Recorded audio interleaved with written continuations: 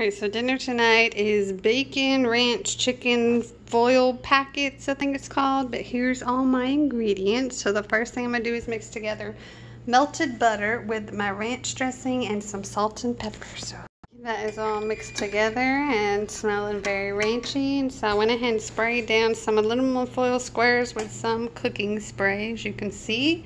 So now I'm going to chop up my baby reds and mix them in a bowl with some of my ranch butter.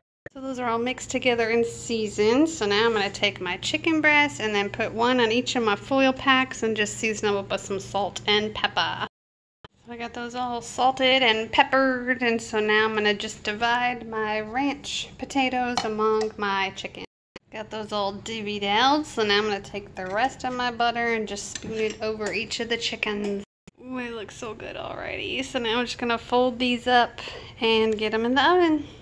My packets are going to cook about 45 minutes. While they cook, I'm just going to go ahead and crumble up just four pieces of bacon. Actually, I got five, so I'm going to do five pieces of bacon. My chicken and potatoes are out. They look pretty cooked and done. The potatoes are tender, so I'm just going to sprinkle them with some cheddar cheese and then put them back in the oven just enough for that cheese to melt.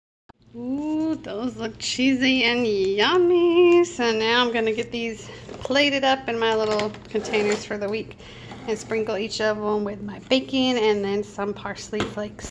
Ooh, you can't tell me those don't look good. That bacon and cheese and ranch and this made five whole meals for me.